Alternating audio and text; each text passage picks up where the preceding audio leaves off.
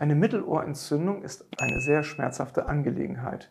Im Rahmen einer Erkältung kommt es häufig zu Flüssigkeitsansammlungen hinter dem Trommelfell.